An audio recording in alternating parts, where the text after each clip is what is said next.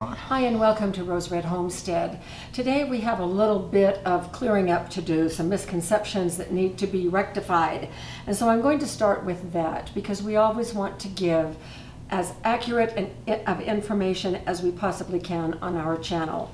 In our most recent video prior to this one where I compared the two canners, the Presto Digital and the Instant Pot Max, one of the things that I said about the Presto Digital was that um, it's one size fits all and that when you get a one size fits all, there's a price to pay. So several people tried to uh, communicate to me that that wasn't exactly the case with the Presto and the way they explained it, it, it also had other science misconceptions in there and so I just discarded it because it just didn't seem rational to me. However, one gentleman who watched our videos just gave me a four-liner that said da da da da da, and I thought, oh, of course, that is probably how it works. And as I looked at other information and checked in with other people, um, this is going to be good news for those of you who use the Presto Canner. Um, the thing that I was concerned about is that everybody was telling me that, oh, it's, it's based on temperature, it's based on temperature all canners are based on temperature. And somebody said it doesn't use pressure, it just uses temperature, and that's an impossibility because without the pressure, the temperature couldn't get up into the kill zone. Anyway, all of that aside, let me explain how the Presto seems to work. So the, the Presto right here in this little nub measures the temperature in the pot. And when the temperature gets up into the kill zone, because the pressure has raised it up there, once the temperature hits the kill zone, then it holds it in the kill zone until you cut the heat or until it has been there long enough. You can't do anything with it. It does everything on its own. And so um, this one also has a temperature sensor, which I showed in the last video but this one brings it up to 15 pounds of pressure because we know what the temperature is going to be and I verified that with my data. This one then uses whatever elevation and because water boils at different temperatures it's going to take longer for it to get up into the kill zone at my elevation than it is at sea level. And so if we can trust the manufacturer and that there's no electronic um, errors anywhere, then this little uh, temperature sensor right here will bring it up into the kill zone because the pressure raises it up there. And then once it gets there, the pressure will hold it uh, through the kill zone. Now, what my, um, and so anyway, the good news for those of you at sea level is that there won't be any overcooking on the front end. Um, sadly, my um, data shows that there is overcooking on the back end because it keeps the food in the kill zone much, much, much longer than is necessary. And so that's still kind of a caveat with this one if, if we're concerned about it. Today, I've had so many questions about, well, if your um, meat sauce didn't quite pass this test, what about ground meat? And so today we are going to do ground meat in both the Presto and in the Max. I've had a lot of requests to get back to showing some canning videos in the Max. So I just thought I would kill two birds with one stone. So we came home from work today with a ton of ground meat and um, here it is. And so we're gonna get started on our project here in just a moment.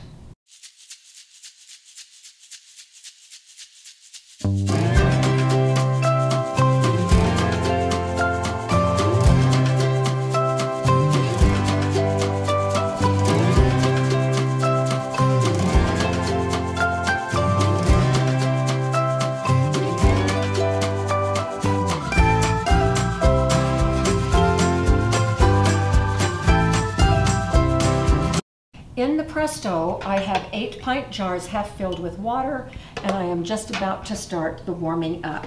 And then while it is warming up, we are going to work on the other canner. So I'm going to lock the um, lock this in place, removing the regulator, And then I'm gonna come around and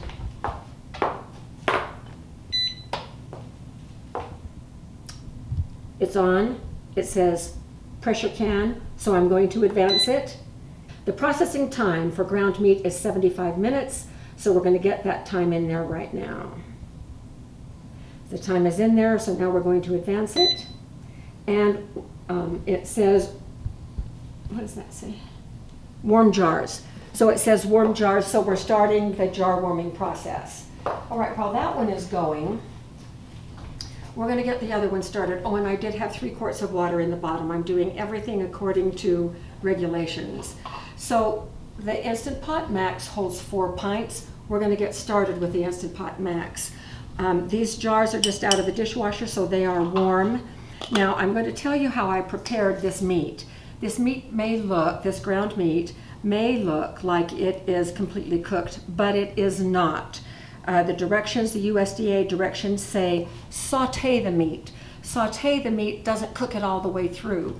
The reason that we want to pre-cook this meat a little bit is that we do not want it chunking on us in the inside and glomming into great big gloms that are difficult for the heat to penetrate through. So just think about that.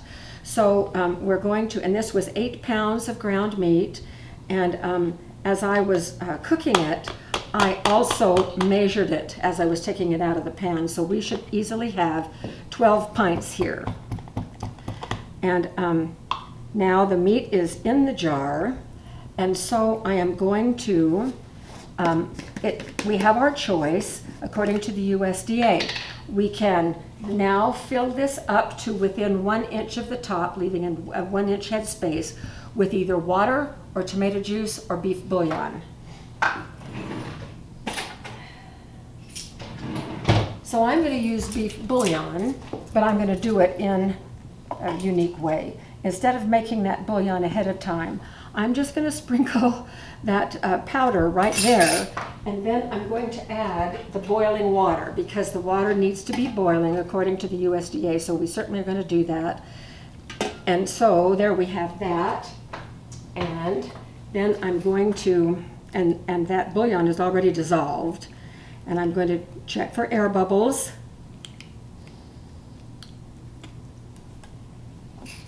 and I'm going to wipe the rim Very hot. The meat is still hot, by the way.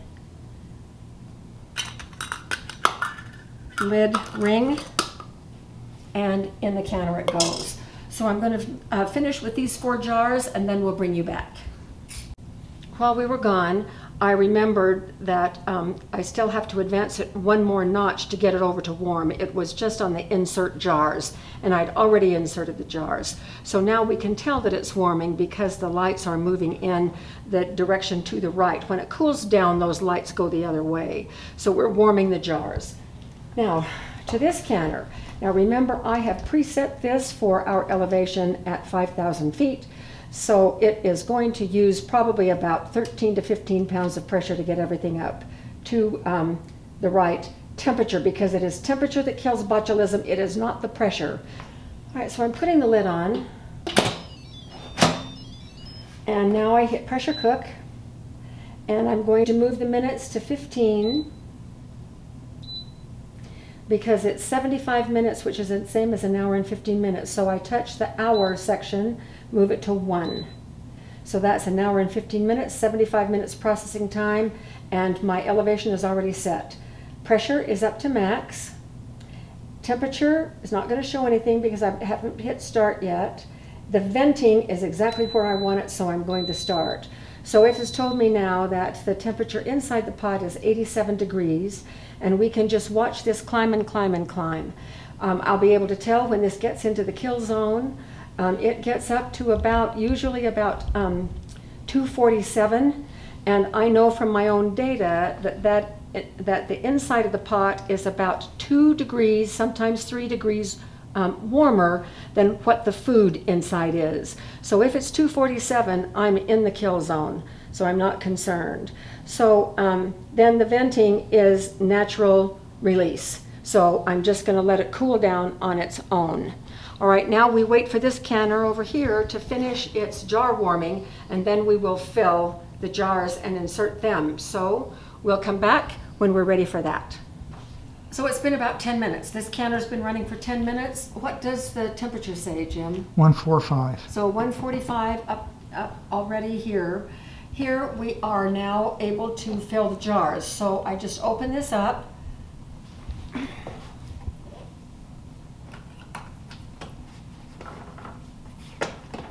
Sometimes doing this backward is complicated for me. And we remove the jars one at a time and fill them.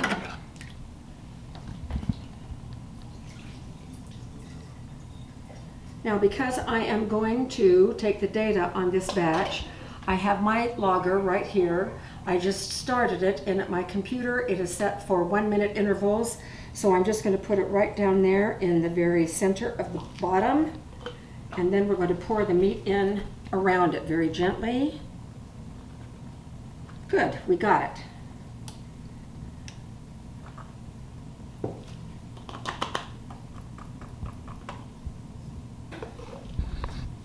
One teaspoon, one leveled teaspoon.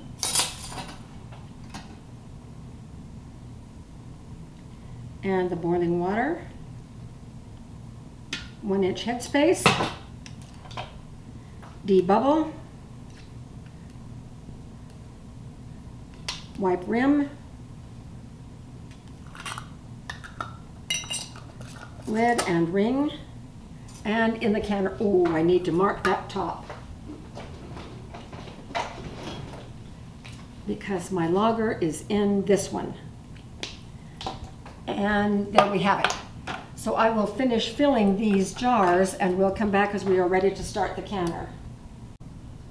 All of the pints are filled with beef and the bouillon and we are now ready to go ahead and start the next part for this canner is the venting. And so the jars are filled, we advance it and heat. So it is heating up. It's going to vent. Once it gets hot, it's going to vent for 10 minutes. 10 will show on here when it is hot enough to start that venting, and then it will um, start, then the, the 10 minutes will start. Meanwhile, this canner over here is now over at 223, well above the boiling point for our elevation. Still, it's only saying on, it is not giving us the 75 minutes, which is telling us that, ooh, 222 is pretty high, it's above boiling, but it's not hot enough. We're not gonna start the um, processing until it gets higher. So we'll be back when the next step occurs. So this one just finished its venting cycle. So it's telling us to put the regulator on and go into the canning phase. So we're going to do that. Okay, this one, this one has been going for 14 minutes. It's counting down from an hour and 15 minutes. Our temperature is 237. Oh, I have to advance this. It's telling me advance, advance. Okay, so there's our 75 minutes processing, and it's not there yet. It has to heat up some more to get the pressure going so that it will lift the temperature up into the kill zone. So this one has been now going for 15 minutes. It's at 237, almost at the kill zone at 240. Uh, none of the canners start the processing in the kill zone. They work up to it and then they hold it for a while. So we're going to leave both of these canners alone now until it is time for this one will most likely finish first and it has a quicker cool down than this one does. So most likely we'll be back with the max and we'll take the jars out, see how they look, and I'll um, let you know what the results were there. And then when this one is finished, I'll analyze the data and we'll see if we had a safe canning um, session this time. So we'll see you in a while. It is 9 p.m. and we are still at it. I've changed my out of my um, office clothes. Obviously, this is my work clothes from home, and um, we have one canner that is completely finished. The lid lock just unlocked, so we know that it's safe to open it up. Now I have some sad news to report on this one, and um, that is that it it did not get up into the kill zone. It got up to 239. And, uh, and that is all. And this is canned exactly how the USDA um, instructions state that it needed to be canned. And I had Jim reread it, and he said, You did everything just exactly right. Now, here is the thing um, because it was 239, and it pretty much held between 238 and 239 for the entire time once it reached up there. Um, what I did was I took um, the temperature of 238 and I ran it through my algorithm um, in my Excel file. And the bottom line is that um, this does meet the, the safety number. Now let me tell you how that works um, because it's going to be a big reveal. There is nothing magic about 240. Um, 240 is what arbitrarily um, the USDA selected as the kill zone between 240 and 250. And I've disclosed this to one of our subscribers who said earlier today, commented that um, countries in Europe don't have pressure canners, and I know that because people have said that um, as they've commented on our videos, and they have been canning low pressure foods, I mean low acid foods for years, safely using water bath. Here's the thing, and this is how that algorithm works. So a, a botulism spore doesn't live and live and live until, oops, magically it hits 240 and then it kicks the bucket. Um, there's a whole range of temperatures where if they are at that temperature long enough, it will kill them. And that range of temperatures can be as low as 230, even a little bit lower. But here's the deal. In Europe, the way that they got uh, away with doing that is that they would process water bath low acid water bath foods for hours and hours and hours, even sometimes several days, in order to get the proper kill. Um, our USDA didn't want any of that. They wanted using the materials and the equipment that we can use in our homes. They wanted to set a standard, um, and that standard would be met, and the kill zone was established. And so, by tradition, that's what we use. But I have that algorithm. And I've had our PhD math professor um, at my university double check everything, and he says it's right on. In fact, he's now using it for uh, one of his calculus classes to have them calculate problems with. So I know that that algorithm works. I took it right out of the literature that is used all over the home canning industry. So these are safe. Um, but this did not meet USDA minimum of getting that temperature up above 240.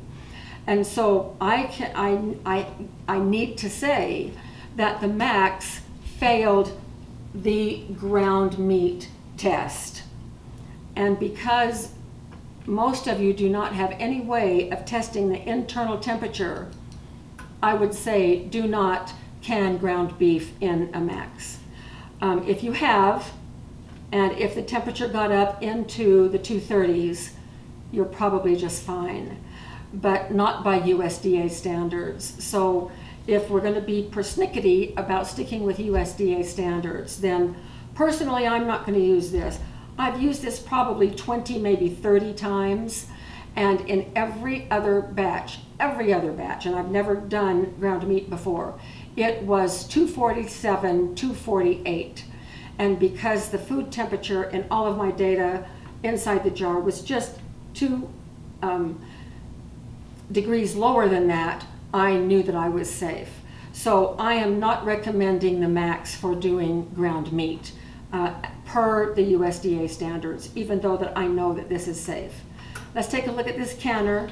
Uh, the max finished 25 minutes before this one did. This one is still in cool down and it will give us a 10 minute warning. The 10 minute sign kicks on and then it counts down 987 all the way to zero and then we can open this canner and I will retrieve my uh, data logger. I, I don't have two data loggers, but since my data tells me, informs me what the food temperature was here, I'm perfectly fine with this the way it is. Uh, but I'll retrieve the data logger, run the data, and then I'll uh, bring that back to report to you uh, when that time comes. And it's probably going to be at least another hour. This one cools down, it takes a long time for this one to cool down. This one cooled down in about an hour and five minutes. fastest time ever, but it didn't get up as high as it usually does either. So we'll see you soon. Uh, so it's 10 o'clock and it's our bedtime. So we're going to get to this very quickly. First of all, I wanted to show you, this is the jar that my um, logger was in. And if you can see right here, this yellowish, this is fat. And I got all the fat out that I possibly could. That's what the USDA suggests. When this um, cools, this is going to turn white. And um, I, I, get lots of questions on what is that whitish stuff at the top of my ground hamburger. Don't worry about it, it's just a little bit of fat and it won't hurt a thing. And it doesn't hurt the food at all. So um, these are the four that came out of the max. And these are the seven, and then the eighth one that my logger was in. And I bet you're all wanting to know what the results is. So here's my famous data book. So let's open it up we had an amazing success in the Presto. So this is what it looked like. Um, here's the processing time for 75 minutes, and um, here is the kill zone. It stayed in the kill zone uh, an hour and 28 minutes, um, which is way long to be in the kill zone. And so even though we got, um, these are very, very safe and the margin of error is absolutely huge. One of the biggest numbers I've ever gotten. But there's, uh, it, the upside to that is that it's safe.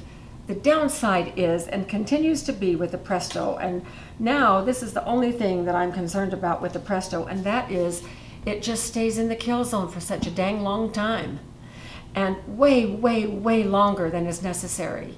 Um, so therefore your food gets cooked at a higher pressure for longer than is necessary. Um, I just want to say that I'm nobody official.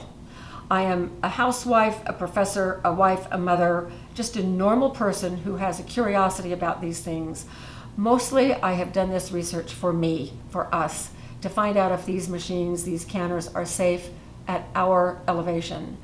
And um, I've had so many requests to do um, these, and so many of you are buying these and using them, that I thought I just need to share the results. Feel free to discard my results. Uh, hopefully there will be official results coming out soon from one of the university extension offices.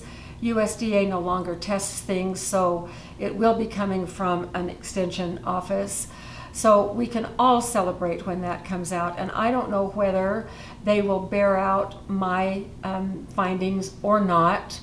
Um, one of the studies that I just recently read said that they're not, they don't pass canners unless they can get up into the kill zone, the top level of the kill zone. But once again, the Presto, the highest that it got was um, 117 which is um, 244 Fahrenheit. And so it's just barely in there. But if it, but being barely in is still in. And so if it gets in at every elevation the way it claims, then we're okay. If it adjusts according to temperature and uses the pressure only to get up to the kill zone in whatever elevation it is, that is great. But my um, one down thing is the amount of time that the food spends in the kill zone, which is far beyond. It is more than 20 times what is needed to make it safe, and in this particular one. So that is the conclusion. I'm sad about the Max. I've never had a failure with the Max, but I won't be canning hamburger in the Max for sure. I'm going to redo the, the meat, Italian meat sauce. We had some for dinner tonight, and oh my gosh, it was so thick. And so I am thinking that maybe it needs to be thinned down. So we'll keep working on that aspect and I'll keep you posted as we go. We're going to turn our attention with these videos to other things now. We've pretty much done enough on the canning testing for a while. So thanks for joining us for this um, cleanup video and we will see you at our next video.